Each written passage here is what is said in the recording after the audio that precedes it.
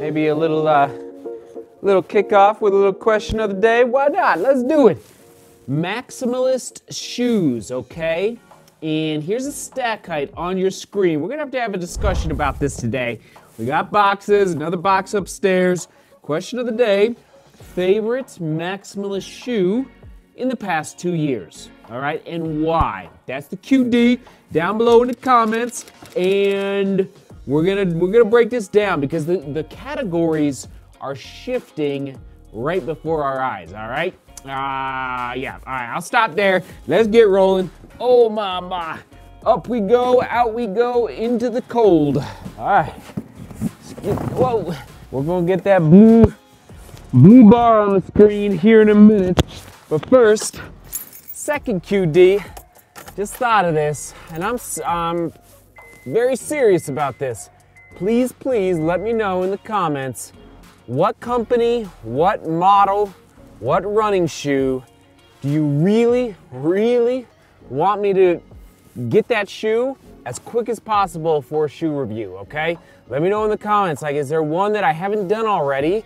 And here, the, actually, I'll just put on the screen in like the last month, we are rocking it, but I know there's a lot of shoes that are coming onto the uh, marketplace soon-ish, and there's a lot of companies. And there's a lot of contacts, and there's a lot of emails, a lot of phone calls back and forth with these brands. And I wanna make sure I'm reviewing the shoes that you are interested in. And so over time, there'll become a consensus of, let's say, the top five road, top three trail shoes down in the comments based on your thoughts, all right? Let's go. Okay, thank you for doing that because, uh, you know, there's just, there's hundreds, you know, every year, hundreds of shoes every year, and uh, got to make it happen. You know what I mean? I get give yourself a little leash when you are strategizing your training locations. Three years ago, I don't even know what I was training for, but I definitely was not coming up to 12,000 feet where I'm at right now in the wintertime. I was in the spring. I think I was just getting ready for the summer, you know, mountain running season. Two years ago, getting ready for uh, Naples half marathon. Turned out well, PR down there, and I definitely was getting up high in the winter months leading into, it was more December though, because the race is in January. So now, uh, I, I, I'm learned, I continue to learn, and that's whatever happens in California in, you know, 10 days or whatever, 11 days, um, the process of going through this training block is learning the, insane, I always want to throw it back to you. Think about wherever you live, whether you're uh, by the ocean, whether you're, you know, in the mountains, whether you're on the plains, wherever, a big, huge city like Tokyo or something, you, you will discover the best strategies and the best training locations to match whatever race style you're getting ready for, whether it's you know a, a, race with a lot of vertical, race that changes from pavement to dirt and back and forth or muddy or whatever. It just take give yourself patience. It's a t- I'm gonna say two to three year process because every two to three years, sorry, every year you're gonna have three races, uh, sorry, three training blocks, maybe four major training blocks, and those are moments, opportunities to learn, and that's what I'm going through right now how do I train in the wintertime in Colorado to get ready for a trail race? And it's been a fun learning experience. Not saying I nailed it, we'll see. Um, but give yourself a little leash as we get rolling. All right, let's do this. Uh, Salomon Speedcross 6.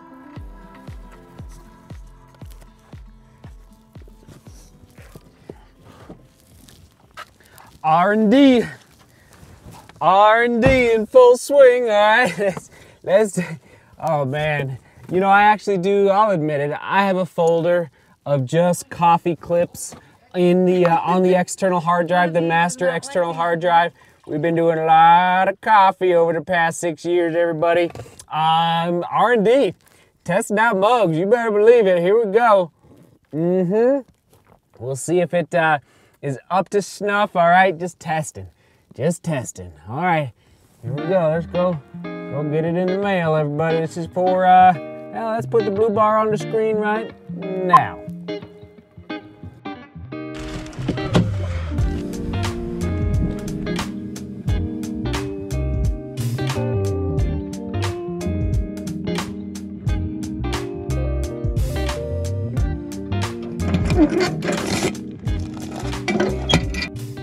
Bullish. I forgot how incredible these shoes are. The ASICS Gel Cumulus 24s. I realized they came out a long time ago. ASICS sent me two pairs. I don't need the second pair. I'm giving these away on Instagram. That's right, early bird gets the worm. The first to tag me with their shoe size, seven and a half men's US. I realize like it's just, that's my shoe size, all right? So first one to tag me gets these shoes. I'm telling you everyone, I will link to the full review in the description. I I'm I cannot wait till the 25, but this is one of my I, I put them on my feet the other day. They feel amazing. Not a crazy high stack height. Anyway, I digress. Who's gonna win them? Winner, winner, chicken dinner on Instagram. Many of you already know this. We have a research team for the shoes, okay? So we got some boxes to open up. Uh, we just gotta do it because the quicker I can unbox the shoes, whoa, this light is a little, little serious here. Okay, the quicker we can uh, unbox the shoes, the quicker I can let the team know, the research team, which shoes need to be researched. All right, so we've got four boxes here. This arrived. Uh, it's kind of heavy. I don't know what, let's just see here. What is going on here? Um, oh, very, very good. Colorado Alpine trail runs. Colorado Alpine Trail Runs by Annalise uh, Gruder. I just saw, honestly, this popped up on Amazon. Amazon, they got me. I popped up, oh my goodness, this is awesome just for Colorado. Colorado Alpine Trail Runs. I cannot wait to get that uh, into the rotation. All right, Ricky. Hey, Ricky, Ricky, Ricky. Thank you from Utah. What does it say? Run, simple action, profound effect. Thank you, Ricky. Oh, there's a note as well. Ricky, I will read this note here in a little bit. Uh, very good. He says, We are on Etsy at outdoorendurance.etsy.com. Very cool. Thank you from, oh, sorry. I, it's, I think it's Vermont, not Utah. Uh, it's hard to say. Let me get the knife. By the way, Matt, comment of the day. Thank you, Matt. Great comment of the day a little shared DGR experience at the Pikes Peak Marathon.